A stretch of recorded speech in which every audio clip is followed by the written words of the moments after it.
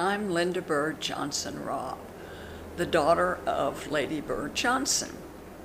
When my mother was born in 1912 in Karnak, Texas, women did not have the right to vote.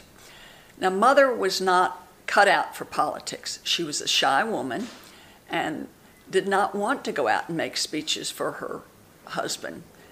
But one time she did agree that she would go from Austin to San Antonio to do a, uh, do a speech. And with her friend driving the car, they set off. Well, about halfway there, the car blew the tire. And as she describes it, the car went over and over and over into a ditch.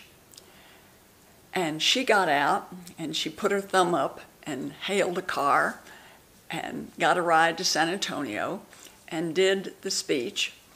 And someone asked her, What were you thinking when that car was rolling over and over into that ditch?